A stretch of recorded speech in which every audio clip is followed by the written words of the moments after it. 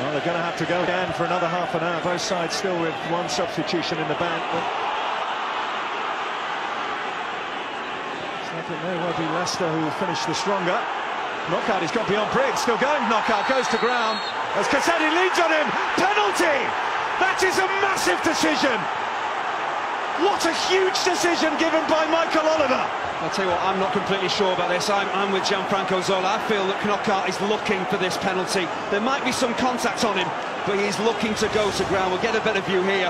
He does brilliantly to get into the penalty area, but once he knocks it past Cassetti, there's a slight touch. To me, throws himself to the ground, and that is a massive call for the referee. I felt he was probably going to book Knockaert, but he's given a penalty, a massive call, and I'm not convinced he's got it right. Knockaert, for me, is looking for it. Well, it's a season-defining call, nothing short of that.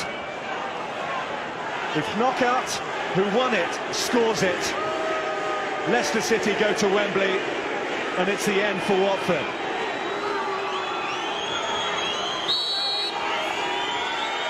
Knockaert takes, Almunia saves, Knockaert follows in, Almunia saves again! Absolutely astonishing. Now here come Watford. Forestieri.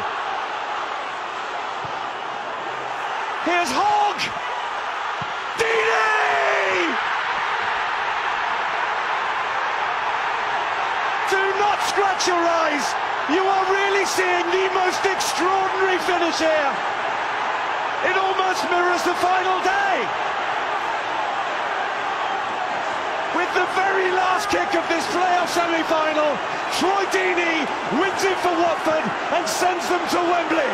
Well, we talked about Troy Deeney being an influence in this game, and that is exactly what he has been. But to me, not justice has been done in terms of the penalty. I didn't feel it was a penalty, so Knockaert not scoring, I felt was right. But you talk about a team that just doesn't give up, that keeps going, that keeps believing. Almunia, the hero at one end, and within 10 seconds, how quickly the Watford come straight down the other. And talk about being positive, about believing in yourselves. They just keep going, they keep the ball alive and Troy Deeney has covered an awful lot of ground. Jonathan Hogg does quite brilliantly here to knock this back.